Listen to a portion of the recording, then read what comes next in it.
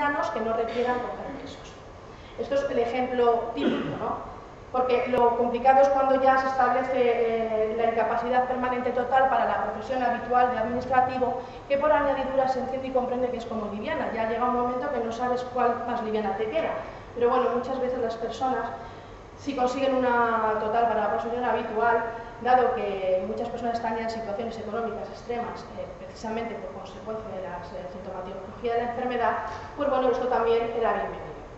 Luego está la incapacidad permanente absoluta, que es la incapacidad eh, por completo eh, al o sea, que le incapacita por completo al trabajador para toda profesión o oficio. Esto significa que no existe capacidad residual ni para hacer un trabajo liviano ni uno con grandes esfuerzos.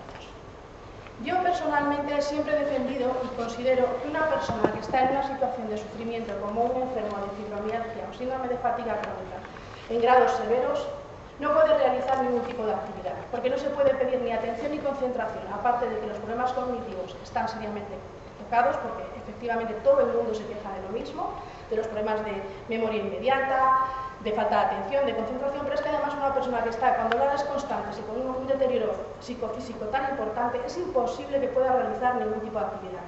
Vuelvo a reiterar que la continuidad en el trabajo se ve totalmente tocada porque no se puede decir que alguien se esté cogiendo un ET cada vez que tiene un brote, más que nada porque es que hay gente que prácticamente está en un brote.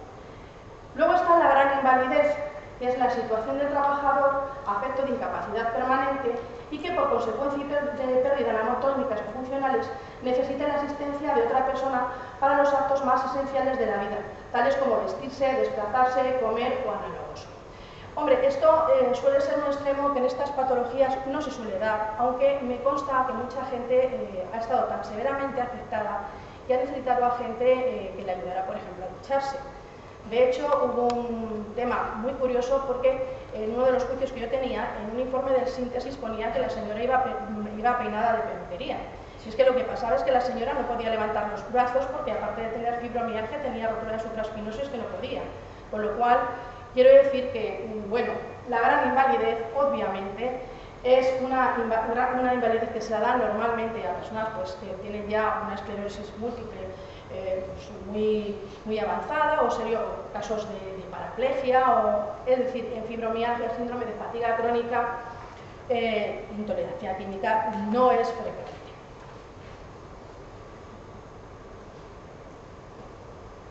Vamos a ver, según el grado de, incapacidad que se, consigue, consigue, tanto, bueno, a nivel administrativo la verdad es que yo no he visto que nos hayan dado ninguna por estas patologías, en concreto, eh, eh, el INS, yo la experiencia que tengo en 16 años es que de oficio, solamente por fibromialgia y síndrome de fatiga crónica, nunca lo he logrado. Hemos tenido que ir a los tribunales y hemos tenido que pelear. Pero bueno, eh, para que se sepa más o menos de qué estamos hablando, la incapacidad permanente parcial, que es esta que comentaba, que es asimilable a una disminución de, de mi valía del 23%, es una indemnización a tanto, alzado de 24 mensualidades de la base reguladora. Esta indemnización normalmente ni nos planteamos pedirla, pues porque la mayoría de la gente el problema que tiene es que le van a dar la indemnización y, no va a poder seguir trabajando, con lo cual lo que la mayoría de la gente viene necesitando es que le den una pensión que sustituya la pérdida eh, económica que tiene del salario eh, al perder el empleo por no poder mantenerlo. Luego está la total, que como he dicho es la, total para la profesión habitual, que tiene una pensión consistente en el 55% de la base reguladora. Este 55% se puede convertir en un 75% cuando se cumplen 55 años o si se tienen ya 55 años y no se realiza otra actividad. ¿Por qué? Porque la incapacidad permanente total es una incapacidad que, como hemos dicho, permite realizar otra actividad más liviana o que de alguna forma sea compatible con la profesión, o sea, con la incapacidad que nos han dado por la profesión anterior a la que teníamos. Y luego está la absoluta, que consiste en un 100% de la base reguladora y que efectivamente es la pensión que no admite eh, otro tipo de actividad, con lo cual te pagan el 100% de la base reguladora. Y la gran invalidez que es el 150% de la base reguladora, porque se entiende que la persona, aparte de estar incapacitada y tener derecho a su 100%, de alguna forma, ese 50% añadido viene un poco como para compensar el gasto económico de la persona que debe ayudarnos a estas tareas elementales de la vida diaria.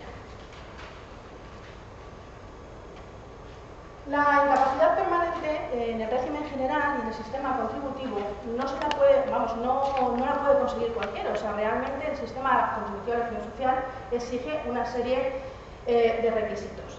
Y estos requisitos, digamos, que cambian dependiendo eh, de si la enfermedad mm, deriva de una contingencia u otra. No obstante, en general, los requisitos generales son tener menos de 65 años en la fecha del hecho causante o, en otro caso, no reunir los requisitos exigidos para acceder a la pensión de jubilación contributiva del sistema. Esto último es cuando una persona pues, no ha cotizado eh, los mínimos exigibles y entonces si no tiene derechos se, entiende que puede seguir, eh, vamos, que efectivamente está en una situación diferente a la, de otras personas.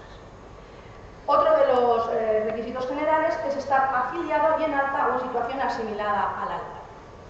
Bueno, afiliado obviamente, porque si está en alta, alguien la ha tenido que afiliar alguna vez. Afiliarte es como pues, lo típico, cuando empiezas a trabajar la primera vez en tu vida y eh, te afilias en la seguridad social y te dan un número. Y el alta es cuando el empresario te da de alta. La asimilación al alta, no obstante, hay diversas asimilaciones al alta, entre ellas la más conocida es la mera eh, inscripción en el INE. O sea, la gente cuando pasa al INE, incluso se le dejan de pagar prestaciones, pero sigue eh, apuntada al INE, está en situación asimilada. De ahí que yo aconsejo siempre que con independencia de que se cobren prestaciones o no, ya sean asistenciales o contributivas, la persona siempre permanezca eh, totalmente eh, inscrita en el nivel y siga sellando porque esta es una asimilación al alta y la permite acceder a prestaciones diversas, entre ellas la incapacidad permanente. Luego están los requisitos especiales. ¿no? Aquí ya sí que hay una diferencia están las incapacidades permanentes cuando derivan de enfermedad común y cuando derivan de accidente no laboral o accidente de trabajo. Y ahí cambian. En el, caso concreto, lo más complicado es eh, cuando derivan de enfermedad común. Cuando derivan de enfermedad común es necesario tener cubiertos, por lo que se llama periodo de carencia, tener cotizados determinados eh, periodos. Si la incapacidad derivada de enfermedad común, digamos que si es un menor de 31 años de edad, tiene que tener un periodo genérico de cotización de un tercio eh, del tiempo transcurrido entre la fecha de que cumplió 16 años y la del hecho causante. Periodo específico de cotización no se exige. Si es una persona eh,